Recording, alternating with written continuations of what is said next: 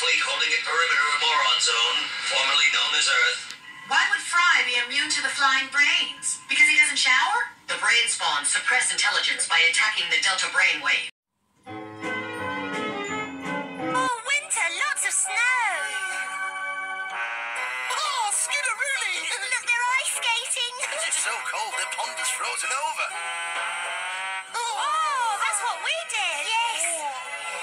Those? They're icicles. Now, this is a special film that shows how they're made. You see, the drops of water join together and then freeze. Do they really grow that quickly? No, no, they've speeded it up. Oh, magical. No, it's icicle.